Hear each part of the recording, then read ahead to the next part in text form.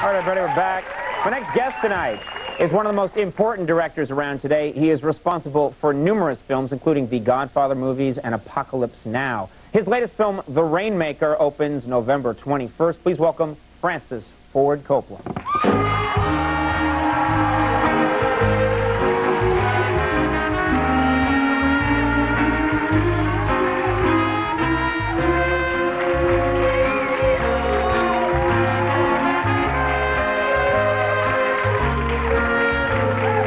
Seat. Thank you so much. Now, by way of explanation, I, I should tell people that, that, that aren't aware, you have a very distinguished uh, vineyard. You have a winery. And I brought you the new 93 Rubicon, just just released. Thank you very much. This is great. There he Andy, goes. your glass, please. Yes, uh, thank you. This is nice. This is wine that you have made, is that right? Well, yeah, I mean, I didn't squeeze the grapes with my feet, but uh, but it's it's the grapes that we we live amidst.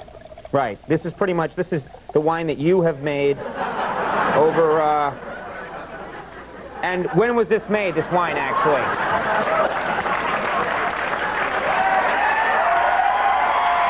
Is it... Well, that's uh, that's the 93 vintage, and so we're just releasing it now. Okay, and this is, uh... How is it, now, you're a wine fanatic, pretty much. If, if you're in a restaurant, do you return a lot of bottles of wine if you don't like it? I think I've done it once. Really? Yeah. You're not, sometimes I do it. Just, I don't know anything about wine, but just to not look like an idiot, I say, no, I, I don't think so. This is, uh, I don't, I don't, this is not going to do. It's pretty rare. It's pretty rare to come a, a, across a bad bottle. But you know, if you're spending a lot of money on a bottle and it doesn't please you, you should send it back. This is very good, by the way. It's very nice. Well, you like it, okay. Andy? It's delicious. Okay. Great. I want to ask about the, uh, your new movie, The Rainmaker. Right. I heard something very fascinating, that to get some crucial performances from some of your actors, you, um, you tried some interesting things with the actors. You actually had, uh, well, y- y- Well, for no, we example, just- Virginia Madsen, actually. We would just do anything to try to make the performances fresh, and so that means, you know, very often you're shooting a shot and the actor thinks he knows what's going to come, and so you try to do surprises or things that they're not expecting just to get real reactions, as though you know, in life, I think.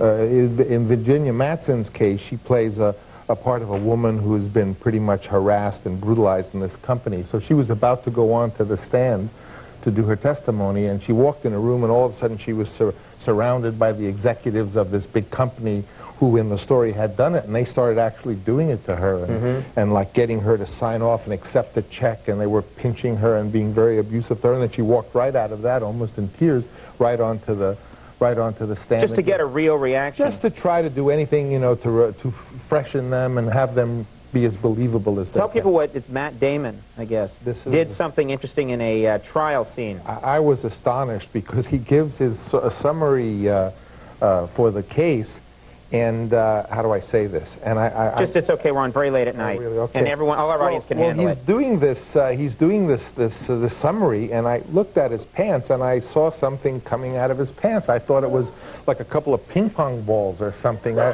or that you know that he had put some styrofoam thing in there, and then he was he was trying to talk. And at one point, John Jon Voight was the one he was giving the testimony to, and at one said he says, "And I want you to realize what balls I must have to do this." And he turned around, and in fact, that was his private part sticking. And so you got Jon Voight's reaction Yeah, I mean, on John camera. Boyd looked and was astonished, and it was a room full of all the people. You know, there were a lot of. Uh, it was uh, a mix. So I'm going to look for that reaction in the film. I'm going to. I'm going to see one. Does he give you one of those kind of cartoons? you know, there, there was, and they did a lot of things like that just to kind of keep everyone on Mm-hmm. their toes. I, uh, of course, I'm a, uh, as uh, just about everybody is, a huge uh, fan of the Godfather films. It's the 25th anniversary of the uh, first Godfather movie, and they had a big get together in, uh, I guess, was it was in Los Angeles. No, and we all went in San Francisco. San All, all the cast came back. except for Brando. Was there? Do you know why? There was a rumor that he didn't show up because he wanted hundred thousand dollars Well, I mean, you know, in ice cream. I don't know. You know, a true story of Marlon Brando actually used to keep incredible amounts of ice cream in his freezer, Mm-hmm. but he would lock it with a chain and lock, so he wouldn't go at it. Why he kept it, I don't know.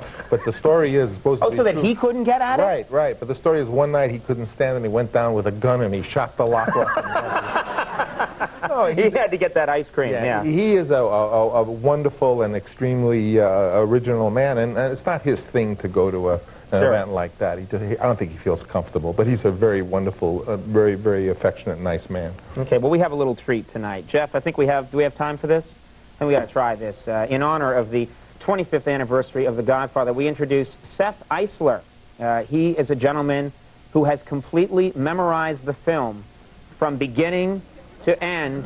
He's devoted his life to it, and for your enjoyment, he will now perform the classic opening scene from The Godfather. Enjoy.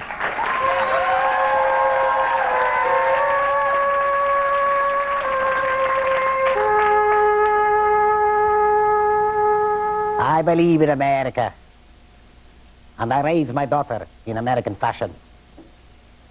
Two months ago, her boyfriend, he took her for a drive with another boyfriend. They made her drink whiskey, and then they tried to take advantage of her. She resisted, so they beat her like an animal. The judge, he sentenced these two boys to three years in prison. I suspended the sentence. They went free that very day. Then I said to my wife, for justice, we must go to Don Corleone.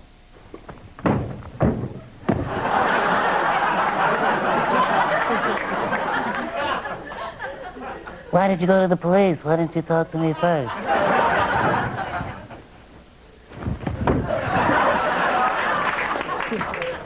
I didn't want to get into trouble. I understand. Found paradise in America. You had a good trade. Police protected you and dealt with courts of law. You didn't need a friend like me. But, uh, now you come to me and you say, Don Corleone, give me justice.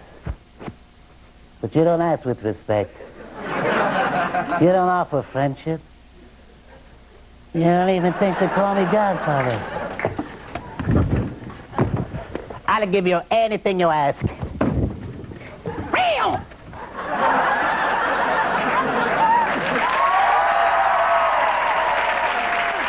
It's all right.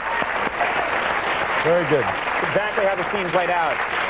The Rainmaker opens nationwide November 21st, and uh, I'll be looking for those reactions. That sounds. Thank you very much for bringing the wine. my pleasure. Very Hope good to have you here. Thank sir. Francis Ford Coppola. We'll be right back. Green Day is coming up.